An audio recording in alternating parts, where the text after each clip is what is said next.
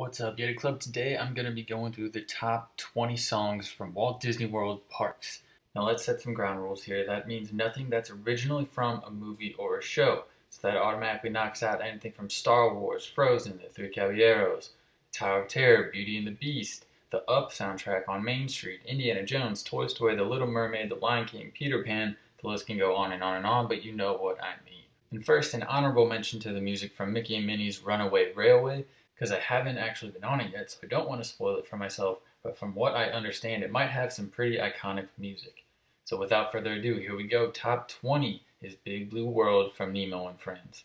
It's a nice simple song to wrap up the attraction, but it can get a bit annoying, especially if it gets stuck in your head.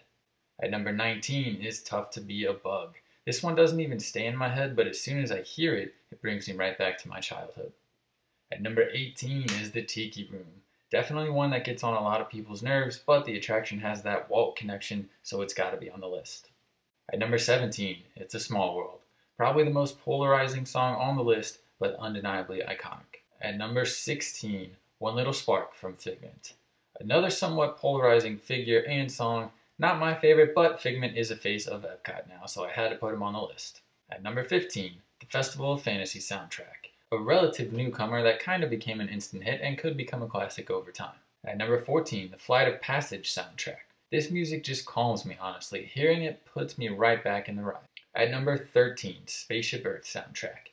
The music from this attraction is one of those that is just super comforting to me, takes me back to my happy place no matter where I am when I hear it. And the exact same thing goes for number 12, the music from the tunnel in the queue of Space Mountain. On to number 11, Rivers of Light soundtrack.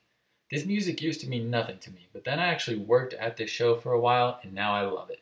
If you haven't listened to it recently, give it another try. At number 10 is all of the songs from the Country Bear Jamboree. I used to hate it, now I love it. Either way, simply iconic.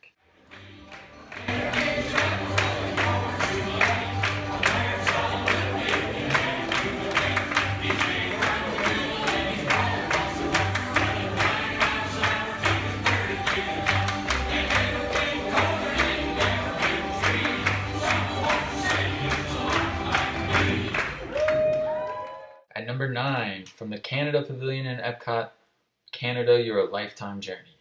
One of the most underrated songs in Disney. This is an absolute banger. At number 8, Sonny Eclipse is set from Cosmic Rays Starlight Cafe. Cosmic Rays is one of my favorite spots in all of Disney, and that's mainly because of my boy Sonny Eclipse. Every once in a while, I'll listen to his full set at home just for fun, and yes, I'm serious. At number 7 is the Splash Mountain soundtrack. A super long, very catchy, story driven song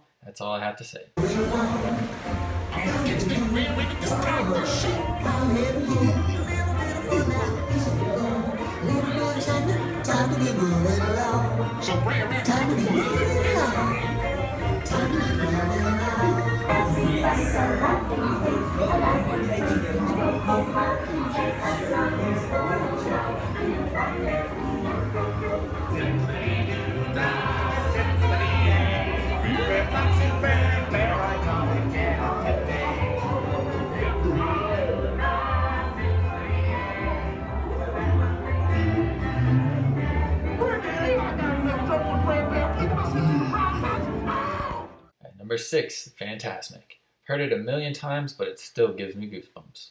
At number five, Happily Ever After. Don't lie, you've cried to this music. At number four, There's a Great Big Beautiful Tomorrow from the Carousel of Progress. I could listen to this all day on loop. Some hate it, but I will defend it to the death. Listen to the original Sherman Brothers version if you haven't before.